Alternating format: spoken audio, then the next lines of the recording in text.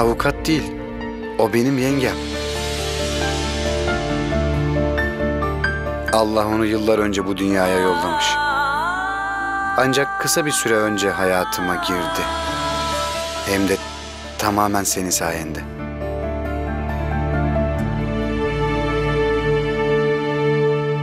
Ne bakıyorsun? Ne kadar şanslı olduğunu mu düşünüyorsun?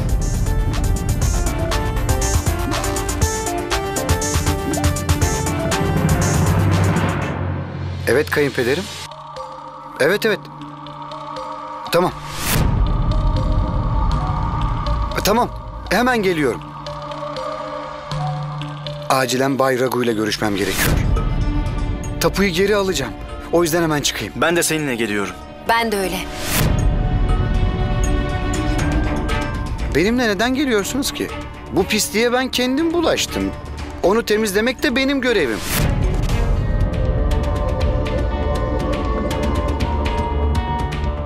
Onunla gidiyorum. Ben de geliyorum. Sen neden geleceksin ki? Adamlar ofisi bastığında sen yoktun ama ben oradaydım. Tamam mı? O serserilerin inine yalnız gitmesini istemiyorum. Galiba onu duymadın. Bayragun'un evine gidiyoruz. Oraya sadece erkekler girer, kadınlar değil. Ben senin erkekliğini sevgililer gününde gördüm zaten.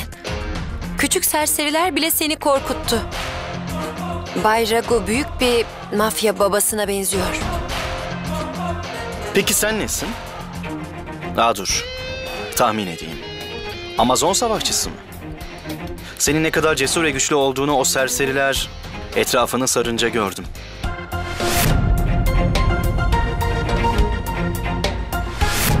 O zaman cesaretine ne oldu? Neredeyse korkudan ağlamak üzereydin.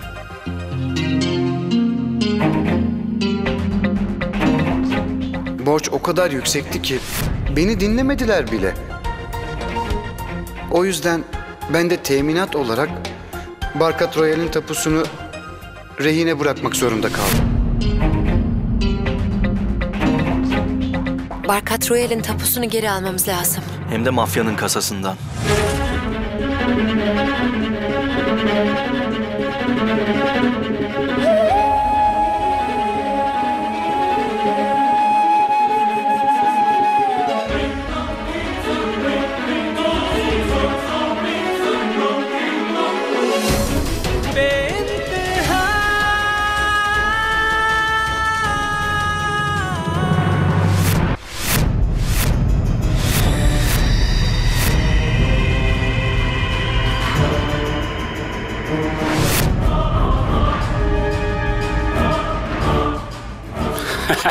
Müthiş vuruş.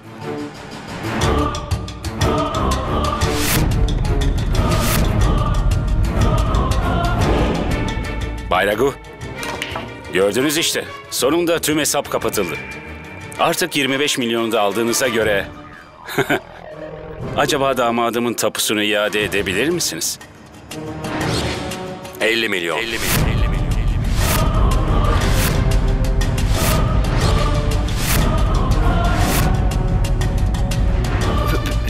50 milyon mu? Ama sizinle 25 milyon üzerine anlaşmıştık. O tutar sana ödemenin vaktinde yapılacağı varsayımıyla söylendi. Ben bir iş adamıyım. O yüzden de parayı aktarmam gerekiyordu. Ne diyorsunuz? Yani bu sürede, bu kadar kısa sürede 50 milyonu nereden bulacak? 25 milyonu ayarlamak bile zaten çok zor oldu.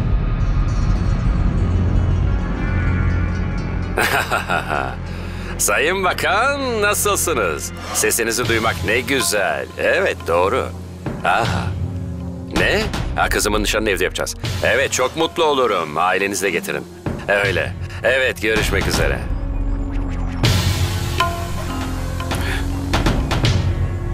Başak valla. Evet. 50 milyonu ayarlayın. O zamana kadar da belgeleriniz benim evimdeki kasada güvende olacak. Özel kasama koyacağım.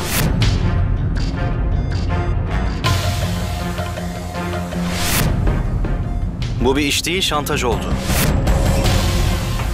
Bence onun işi zaten şantaj yapmak.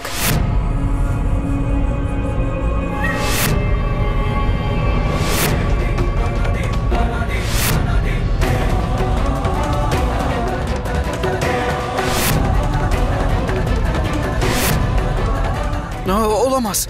E, Affedersiniz efendim. Lütfen onları affedin. Onlar benim akrabalarım.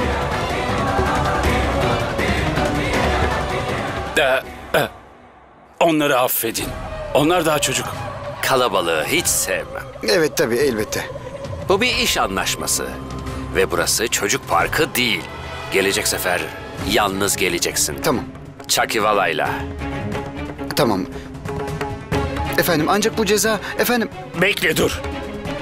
Bekle. 25 milyonu zaten zor denkleştirdim. 25 milyon daha nereden bulacağım ben? Bunu yapamam gerçekten. Zaten o yüzden buradayım. Bayragu ile konuşacağım merak etme. Gidin hadi. Hadi.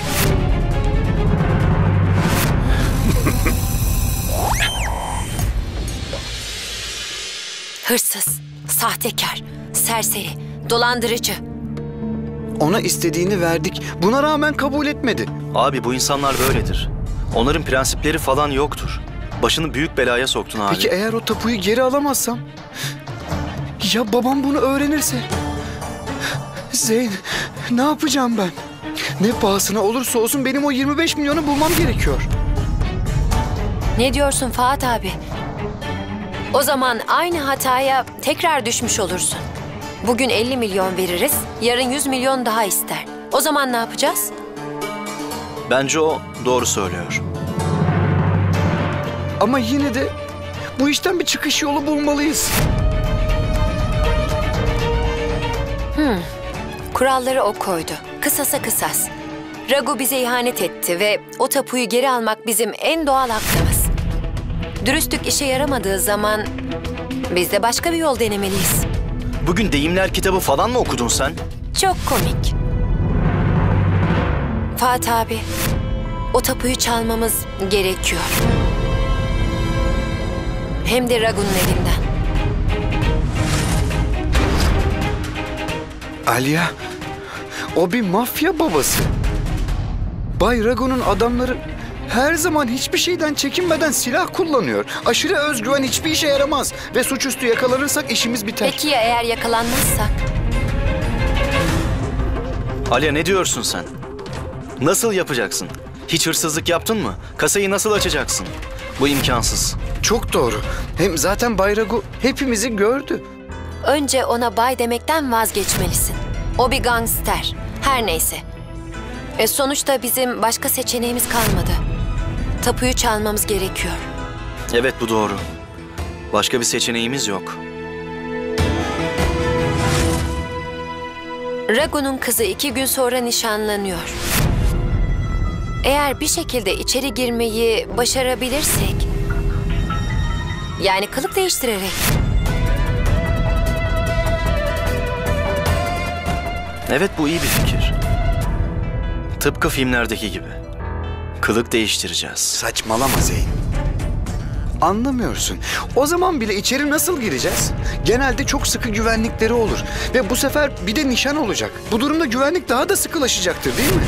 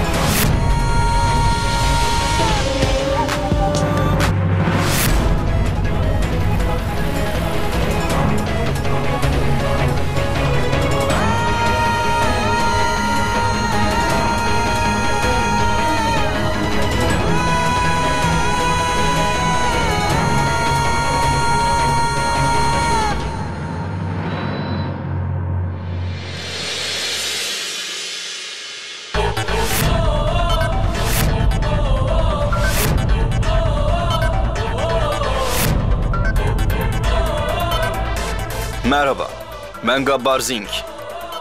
Çok memnun oldum.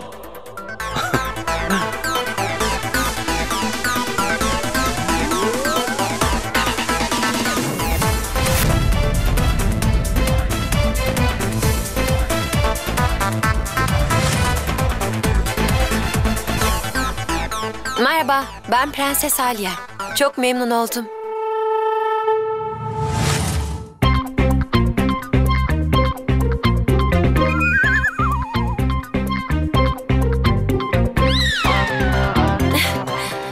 Biz oraya kıyafet balosu yarışmasına katılmaya gitmiyoruz. Bir nişan törenine gideceğiz. Oraya sadece böyle insanlar geliyor. Tanıştırayım. Seri katilimiz. Tanıştırayım Çambal Kaçağı. Ve ayrıca 12 eyaletin polisi şu anda onu arıyor. Oyun oynamayı bıraktığın zaman kendine doğru düzgün bir kıyafet Ha öyle al. mi? Sen kendine bir bak. Beyaz atlı prens masallarıyla büyüdün diye kendini prenses mi sandın yoksa ha? Gerçek hayatta karşına beyaz atlı prens çıkmayınca ne yazık ki onların masaldan ibaret olduğunu anlıyorsun.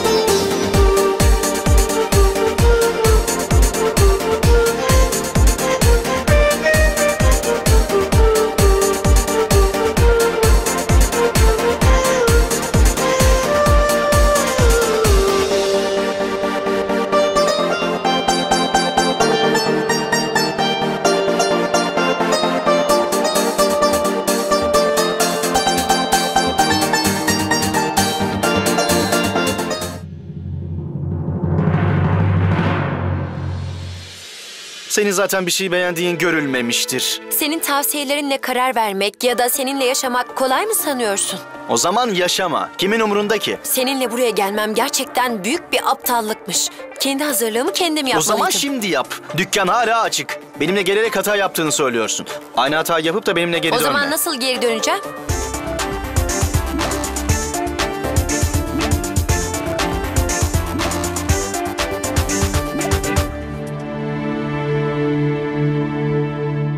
Affedersiniz. Bunu satın almak istiyordum. 3000 rupi hanımefendi. O aa, çantamı arabada unutmuşum. E, kocam hala içeride ve eminim o ikimizin kıyafetini de ödeyecektir. Ha, sorun değil. İşte geldi. Paketleyin lütfen. Toplam 6000 rupi. 6000 mi? Ama üzerinde 3000 yazıyor. 3000 rupi sizinki, 3000 de hanımınki. Hanım mı? Hangi hanımdan bahsediyorsun sen? Zeyn çantam arabada unutmuşum da. Anlamadım. Çantanı arabada unuttuysan bu senin suçun, benim değil. Tamam mı? Hem ayrıca ben yabancıların hesabını ödemem. O yüzden lütfen. Hanımefendi? Zeyn dalga geçme. Çantamı gerçekten de arabamızda unutmuşum. Arabamız mı? Şimdi bir de arabam senin mi oldu? Ha, Sanırım kocası olduğumu da iddia edecek. Evet, tam olarak öyle demişti. Benim nikahıma katıldın mı? Yemek yedin mi? Dans ettin mi? Hayır efendim. O zaman onun sözüne nasıl inanırsın? Her söylediğine körü körüne inanacak mısın? Harika.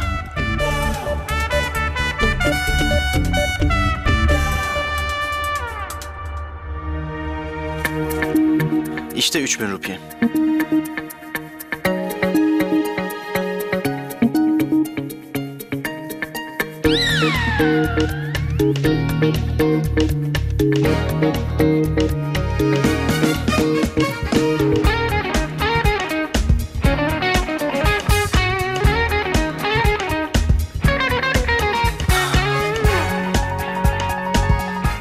Babam her zaman başı sıkıntıda bir kadın görürsen insanlık namına ona yardım etmelisin der.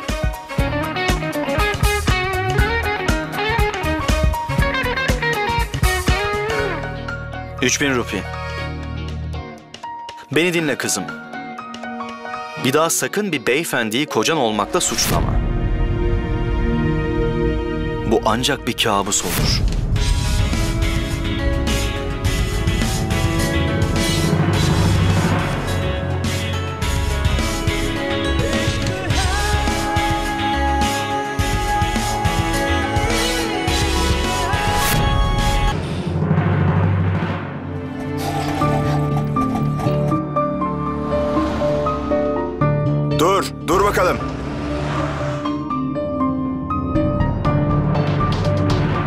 Oldu memur bey?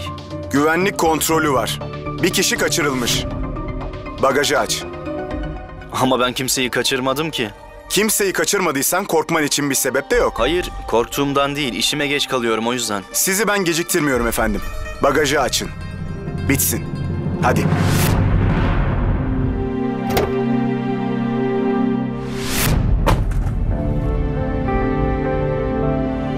Size en başta içeride kimse yok dedim. Hey! Bu da kim?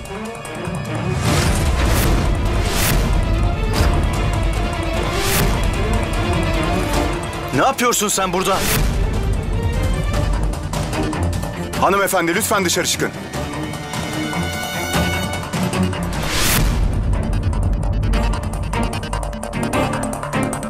O kim? Ve arabanızın bagajında ne arıyor?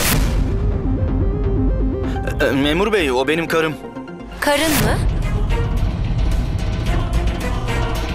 Affedersiniz beyefendi, ben nasıl karınız oluyorum?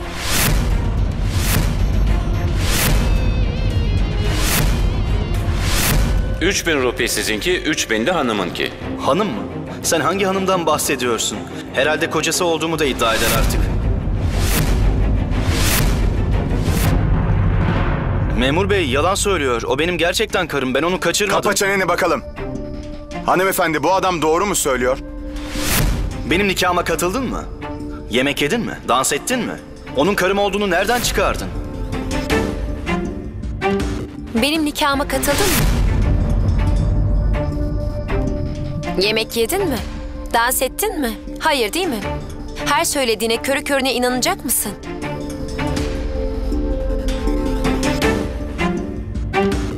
Bu olaya bulaşmak istemiyorum. Ben gidiyorum. Hey! Nereye gidiyorsun? E, Memur hey! bey bir saniye beni tutuklamasınlar. Nereye gidiyorsun? E, onlara gerçeği söyle. E, dur. Bakın memur bey durdu. Bakın durdu.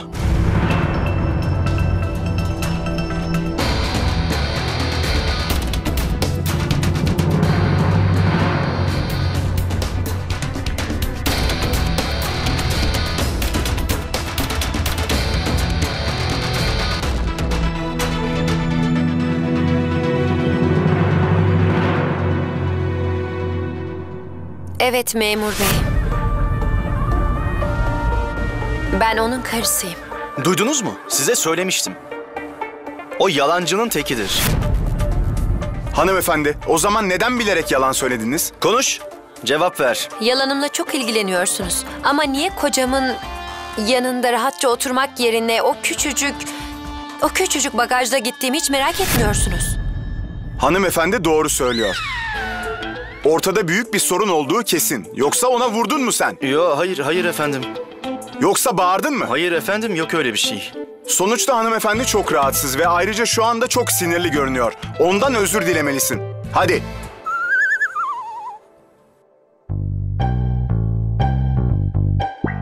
Şimdi bir sene boyunca burada durup seni mi bekleyeceğiz? Hadi özür dile hadi.